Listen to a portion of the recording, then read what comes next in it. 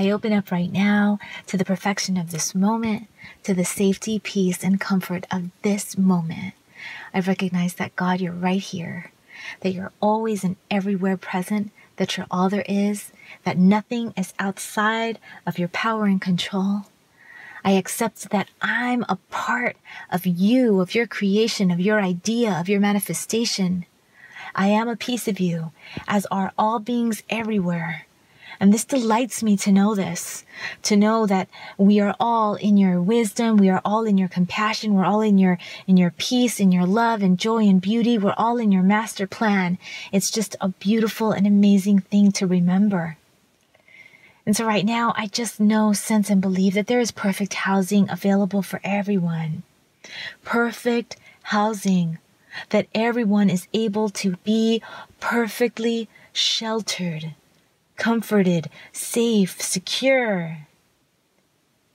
That there's a home for everyone. That homes are created. That homes are given. That homes are provided. That they're built. Whatever needs to happen.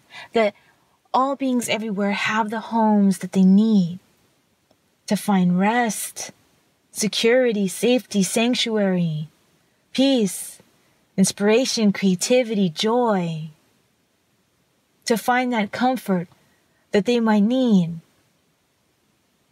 I know that you are with all beings everywhere and that you can provide this everywhere in every moment, no matter what dwelling we find ourselves in.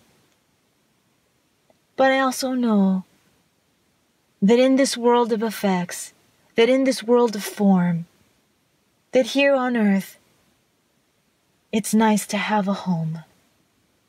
It's nice to have a shelter. It's nice to have a dwelling. And I know you know this too. For I look at the birds, and they neither toil nor spin, and yet every day they are fed. And how much greater are we than they?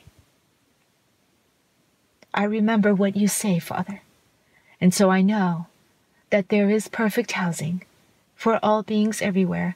And I thank you for making it so that they can be put into these homes, can be given these homes, can buy these homes, can rent and do whatever they need. I know that you are connecting the perfect homes to the perfect people, that you're making it all done, that you're making it all so. Thank you for caring so well for all of us. And so it is. Amen.